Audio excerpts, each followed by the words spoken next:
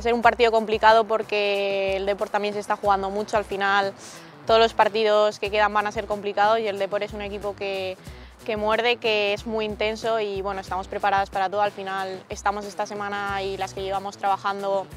la intensidad y el equipo está en un buen estado y estamos, estamos preparadas para lo que viene el fin de semana. Ya se juegan mucho, al igual que nosotras, como he dicho antes,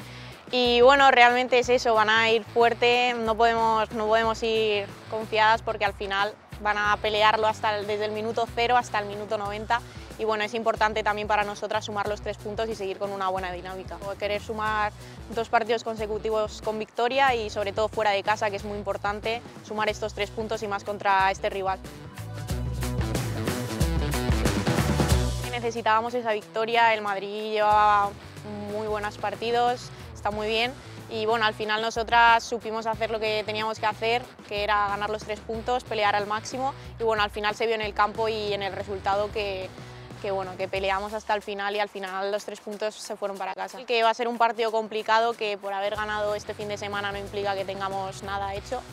que tenemos que seguir en esta dinámica, que todos los, partidos que quedan hay que querer sumar los tres puntos, que al final es lo más importante, seguir ganando y sobre todo seguir con esa confianza de aquí a final de temporada.